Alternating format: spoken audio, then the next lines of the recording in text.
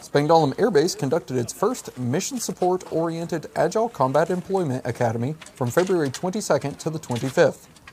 First Lieutenant Brandon Ventura Miller tells us why this training is vital to Air Force mission success. We're here at Spangdahlem Air Base, Germany, uh, in the middle of ACE Academy.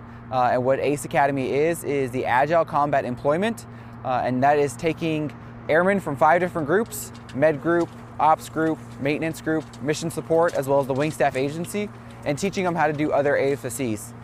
The reason why that's important is because when we go to austere locations, we don't have the resources to take an entire base to support our mission.